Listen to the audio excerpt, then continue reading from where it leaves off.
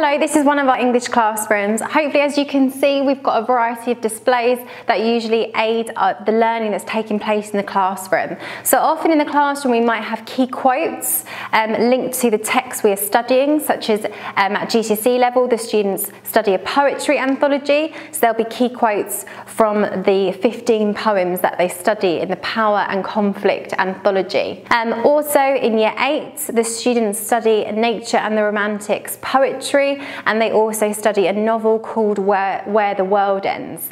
And when they study the poetry and the novel, they will be thinking about their academic analysis. So we often might have writing frames and keywords on our classroom displays that will help support the learning of our students. Our students also have knowledge organisers where they will have keywords and sentence stems and facts linked to their learning and that will help them become great learners. And we often display those in the classrooms and we use them when we're teaching. Here's another one of our English classrooms where we have got some key displays um, linked to our Key Stage 4 texts. For example, we have got JB Priestley's An Inspector Calls, and we've also got Dr. Jekyll and Mr. Hyde um, display here.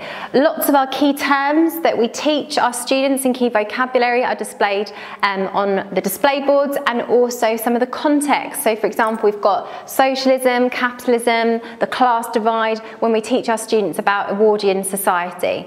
Um, our students often really enjoy English here at Glyn because we're not only just um, reading stories and fiction, non-fiction, but we're thinking about the context that surrounds our text and how this has influenced our writers.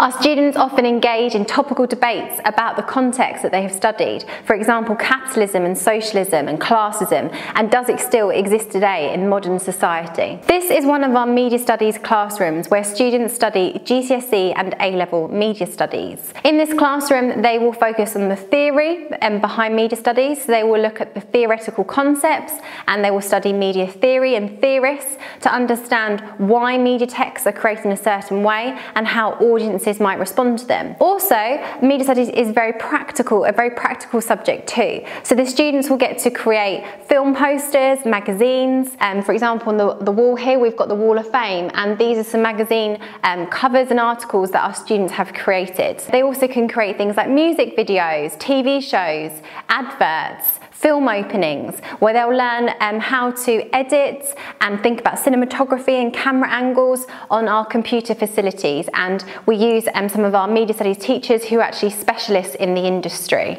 Thank you very much for visiting our virtual tour and we look forward to seeing you in September.